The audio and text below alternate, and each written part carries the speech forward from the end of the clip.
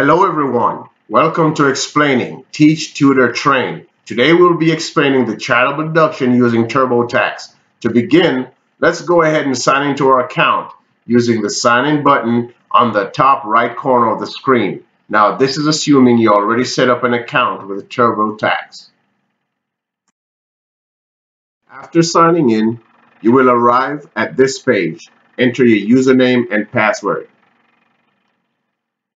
You must choose the itemized option when filing your taxes in order to be able to deduct charitable donations.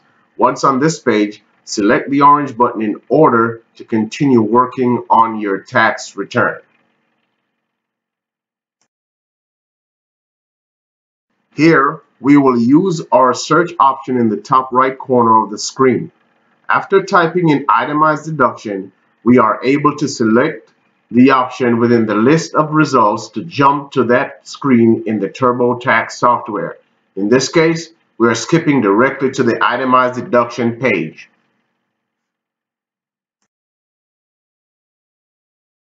Once on this screen, the quickest way to complete your tax return without the Access tutorial built in the TurboTax software is to select the option under I will explore on my own.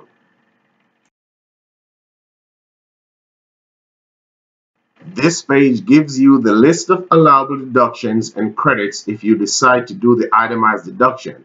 Now, find charitable donations section and select any of the three options as applicable.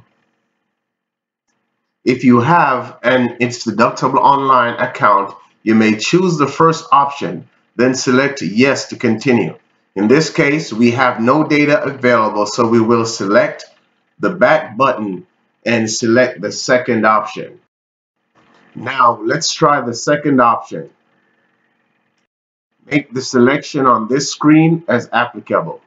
On this screen, we enter the name of the charity organization. Then we enter an option that fits our donation. In this example, clothes.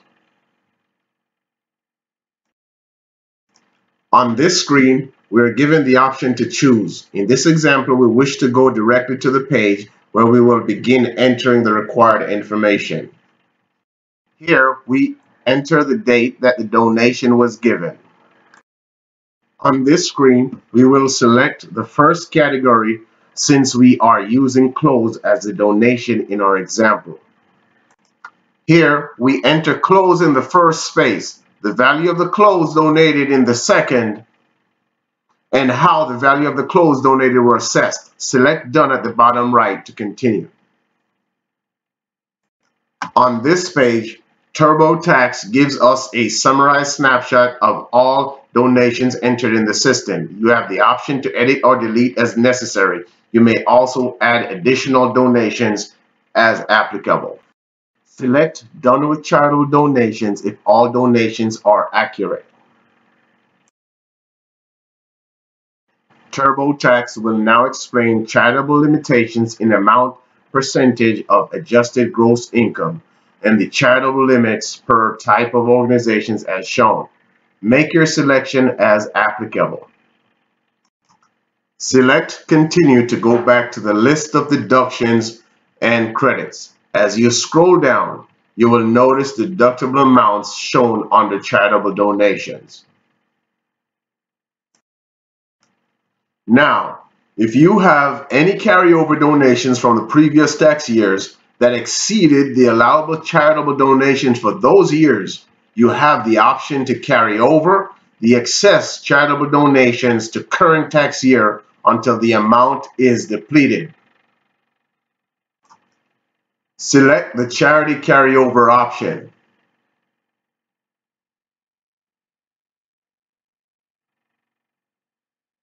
Select Yes.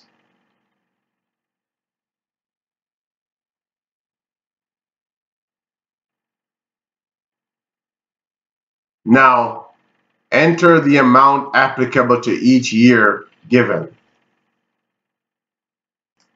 Respond to the questions that follow as applicable, and after you are finished entering the required data, you will be brought back to the list of deductions and credits.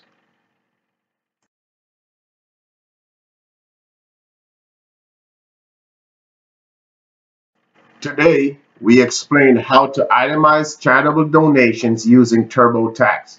Remember to subscribe and check out our other videos. Thank you.